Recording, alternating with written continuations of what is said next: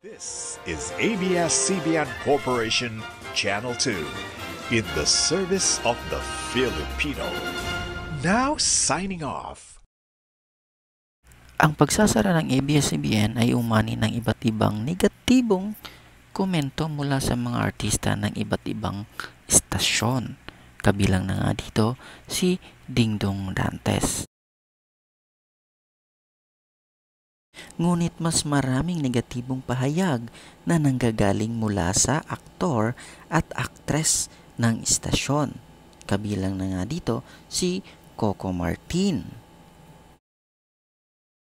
Hindi rin nagpahuli si Karen Dabela.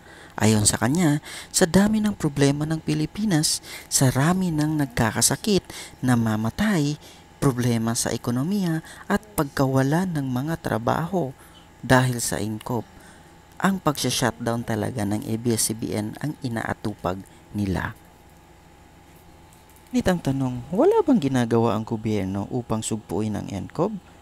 Para panatilihing buhay tayong lahat at suportahan ang mga tao sa Pilipinas? Sa aking pananaw, may ginawa naman ang ating gobyerno. Kaso lang, may iba talagang hindi nakikita ang mga ginagawa ng gobyerno para sa atin.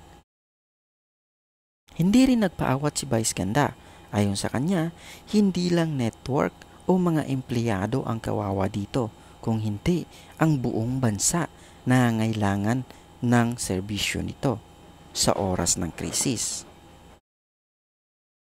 Ramdam natin mga kamilki ang sakit, pagkadismaya, pagkamuhi kung mayroon man sa mga artista o mga empleyado ng istasyon na ito.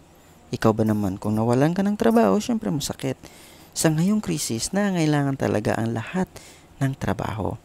Ngunit, sa tingin ko naman, ang nangyaring ito ay hindi forever. Disclaimer lang po, hindi po tayo attorney, hindi po tayo ganun kagaling o matalino kagaya ng iba dyan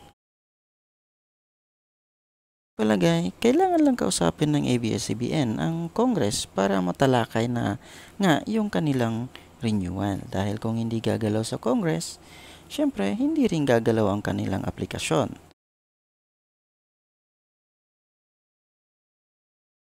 Sa aking paningin, ang nangyari sa ABS-CBN ay hindi natin kailangan ituro sa present na government. Bakit? Dahil according sa government, 2014 pa ito ang renewal ng ABS-CBN. Nasa Congress na. Ibig sabihin, noong year 2014, ang ABS-CBN po ay nagsumiti na ng kanilang aplikasyon para sa renewal ng franchise. Ngunit hindi ito natuloy or hindi ito dininig dahil may nag-question sa kanilang aplikasyon ng isang cable company.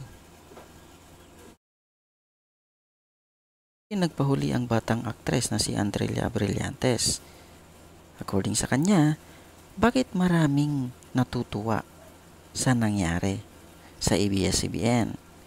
Kailan pa ito naging katawa-tawa na mawalan ng trabaho ang libu-libong tao?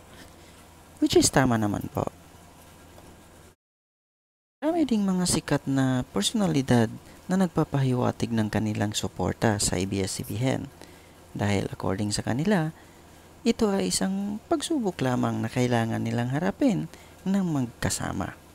Muli, ito po si Bonakid na nagsasabing ang lahat ng problema ay may solusyon sa tamang paraan. Signing off.